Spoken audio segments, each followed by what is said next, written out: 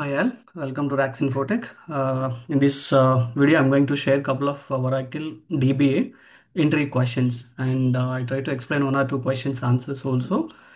Yep, uh, this is our RACS Infotech YouTube channel, guys. So if you are watching first time, uh, you can like go through all the videos, like whatever the entry questions, DBA trainings, RAC DBA trainings. If you like it, you can, I mean, subscribe, share, and follow our channel for latest updates. Okay, let's get started, guys. Today's one. So these interview questions, right? uh, This is for 10 plus years experience, uh, real-time questions, which uh, these questions has been asked by one of the company, MNC company, Oracle Corporation, and uh, asked by like one of my friend has been attended this interview, and I want to share these questions to you. These might helpful, but these questions exactly they are not going to ask again, right? But it will be helpful, and also you can like comment it below is it suitable for 10 plus years or it is suitable for how many years experience? Just comment it for your uh, uh, experience and all. Okay, let's get started, guys. I have uh, segregated in a part like uh, DR part, SQL uh, basics, all those things like architecture wise and uh, performance and monitoring wise, Exadata questions as well, and RAC and patching related questions. I have these are all real time, guys. Live questions which has been faced by one of my friend. Okay. Now, these are 2025 latest interview questions which are asked. First one is the data guard part. What is the maximum availability? Like they want to understand uh, how the candidate, like the profile, uh, having how much experience they have in data guard. So first they are trying to ask how I mean what is the like uh, new features which are there in uh, uh, what I can say data guard 19c? Uh, do you have mean do you have any experience such kind of uh, scenarios? They mean he said that uh, he has faced that way. So their intention was whether the candidate is having latest features accessibility like hands-on experience or not. Just want to check. Okay, just go it go through it. Most of the interviews you may face this question like maximum availability, protection modes, right? Availability, performance, and uh, maximum protection. If you are going to give a wrong answer, right, they they are right, ready to laugh. Okay, that is okay. Uh, that is individual uh, interior uh, point of view. The thing is, we should understand what is the use case, and before going to attend any kind of interview, we should be ready to answer. Okay, even though it is a simple thing, we have to answer. That is our responsibility. Their responsibility is they need to ask the questions. Okay. Yeah. Another question is new features, as I said, right? For not only this data guard, each and everything, when uh, Oracle has been released the new uh, versions, right? Uh, as a DBA, we should learn those things and uh, good to have that uh, new feature ideas and knowledge with us, right? That's where uh, this is another question which they have asked. And mention any new features introduced in data. I mean, especially they are going to ask any new features, like especially for data guard, uh, they want to know how uh, knowledgeable this candidate is on data guard part. Another question is what is the process of fast failover? Like they have given some scenario based kind of one. They have primary and standby uh, related thing, and the standby side the redo is not applying. And there is a lag, and it is not applying. The transferring of the redo is good, but the applying phase was taking time. So how we are going to troubleshoot in that way? And uh, yeah, that's all about it. Uh, the data guard uh, part. And uh, there could be another questions also in our previous uh, videos. I have shared a couple of data guard related. These questions has been asked. And coming to SQL and database internals, like it's a performance and architecture level, right? Uh, these are the questions which are asked from the Oracle Corporation side interview. But the guys like uh, location wise is different, the candidate wise is different. This is I'm giving you like these these, these questions might be helpful when you are uh, preparing for interviews, right? That's where. And what is the shared cursor uh, kind of one? What the, I mean, mostly in memory level, right? You may get the cursor, shared cursor or cursor. What is the use of these things?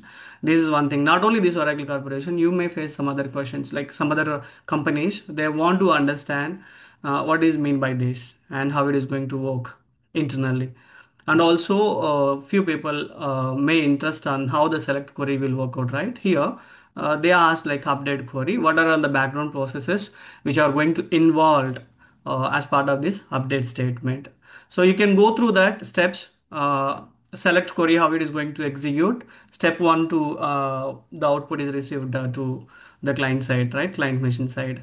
So this is another question. And uh, related uh, questions they want to understand what is the use of SMON and as part of instance crash recovery which uh, process rolling forward or rolling backward right? Which process is going to invoke in the first roll forward or roll backward which is important as part of instance crash recovery. So here and there they are going to ask like one or two questions right? So just get an idea how the SMON will work and how the instance recovery roll forward roll backward what is mean by those things? Exactly what happened at that uh, at the time of roll forward and backward. We can say simply uh, committed transactions will be roll forward uncommitted roll backward right? But we need to have more knowledge. They want to test that as well right? This is generic one. Question to answer is different and uh, real time. We need to put some extra efforts to understand the concept okay if you have anything guys if you want to know more about it uh, if you have while you're going through the question and you are preparing the answer right? If you have anything just comment it. I'll try to respond it back with uh, my uh, experience on this part.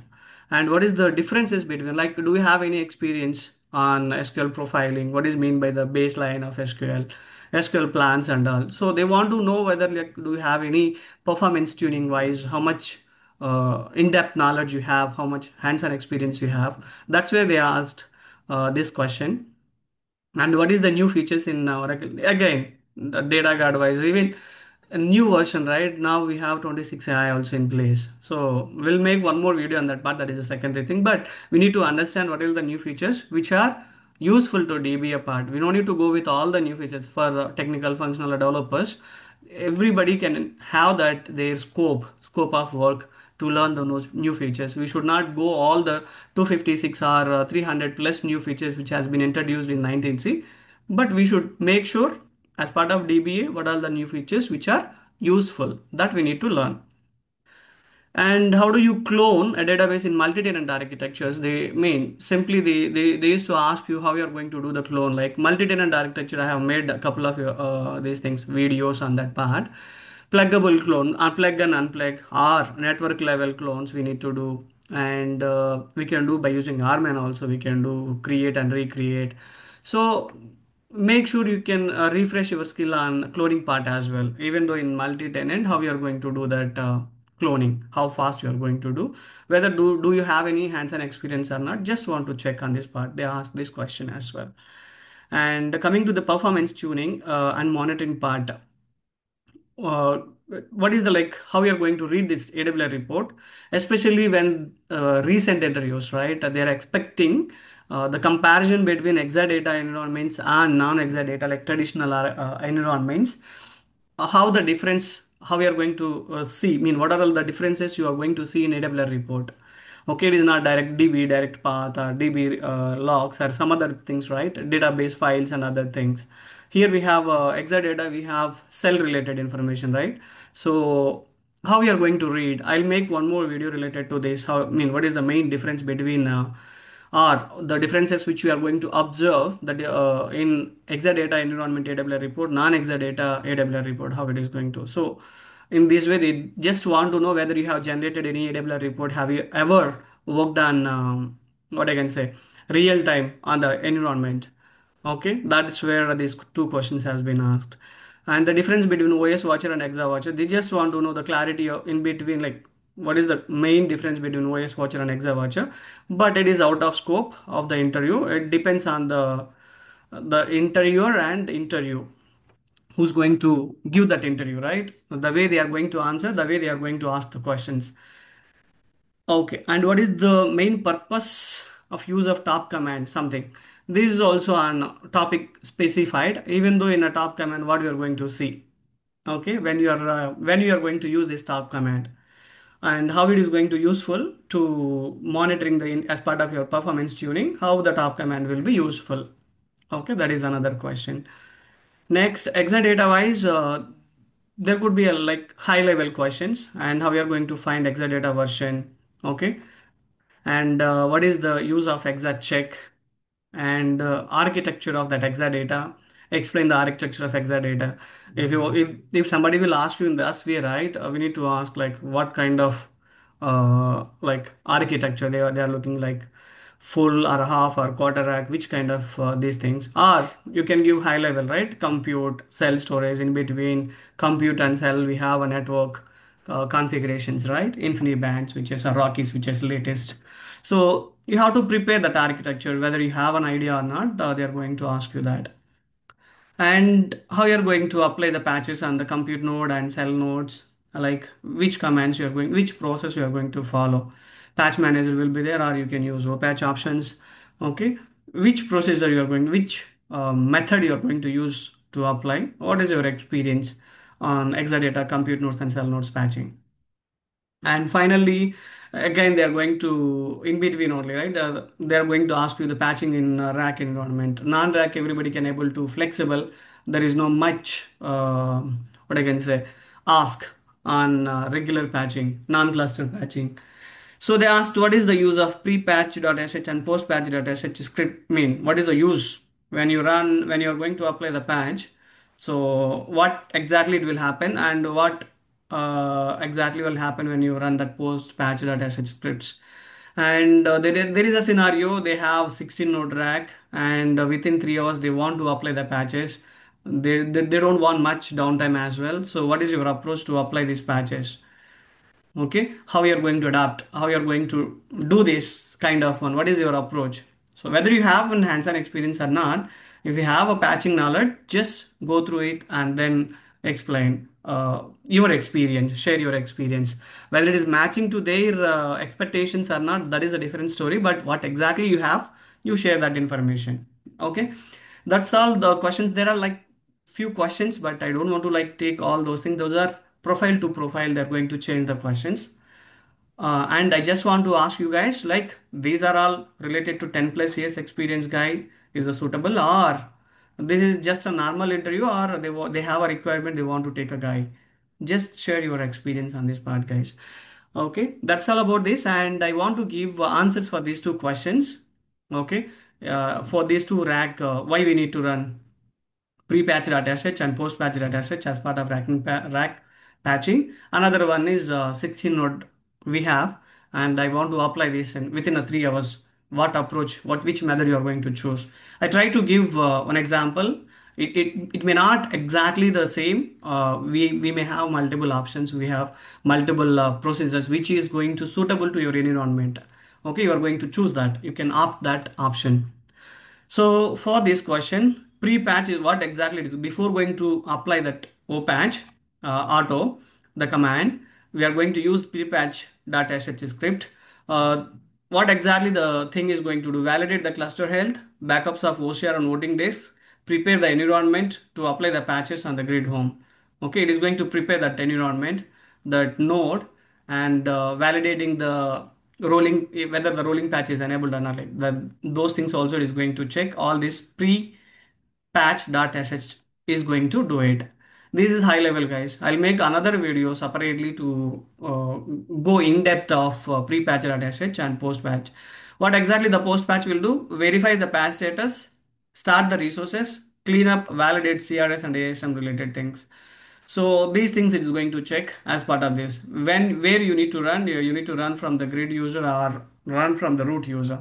Okay, for where you have install your cluster softwares, right? And from there you need to do this is a patch auto apply to apply the patches. That is the high level, guys. And uh, next question is the 16 node one, right? You can go with one method which is rolling patch and to avoid uh, full cluster down if they will ask right we don't want to down uh, half of the nodes they have huge amount of load they need to apply the patch without shutting down the single node they will ask in that way. Simple simple thing. We need to understand the architecture. We need to understand the client requirement. We need to understand the environment first. Then only we can able to answer it. We cannot say uh, we don't we don't have any downtime. Can you do this patching within 3 hours? No one can able to answer in real time right? They can expect that is interview. That's okay. But you have to share your experience your approach how you want to apply. So go with rolling mode, node by node you can download. Whether it is going to complete in 3 hours or 4 hours or 10 hours, it is not uh, what I can say. There is no downtime, right? It is not a matter how many hours you are going to take it. Another option is OPatch Auto. Uh, it is going to like node by node patching and reduce the manual steps. That is another option where you can do this. In that case, right, it is going to shut down the entire node particular node and it is going to apply all the database level and uh, grid on particular node. This is also rolling fashion you need to do it. And uh, see here the tight window, 3 hours for 16 nodes. Consider rolling a, a large cluster in this uh, risky parallel teams patching different nodes. Only if the if your process and approvals are allowed, you can do this. Patching database forms in rolling manner while keeping grid patching is controlled. Always validate uh, after each node. Do not proceed blindly to another node. So one node is done and then check all the services coming up or not and then you can proceed on that part. So here you can do uh, like whatever the approach, rolling patch by using OPatch Auto node by node you can do it. Or if you have a downtime, go with three hours, use OPatch Auto, apply on the nodes and let's see how it is going through. Okay. And uh, you have one more thing is uh, out of place patch also will be there. All 16 nodes, you need to have another 16 uh, grid home. There you can apply the patch. Within three hours, you can switch it back to that uh, new grid home where you have patched. Okay, that is also there, but resource is required, more resource is required for that. So that's uh, about the 16 node or 20 node, 100 nodes, whatever it is, how much uh, they have. We have to go with as per the plan, as per the uh, available options we have to adopt. Okay. Now the quick reference for the um patching related things, right? Uh, how we are going to go with these commands, OPatch version, what is your version?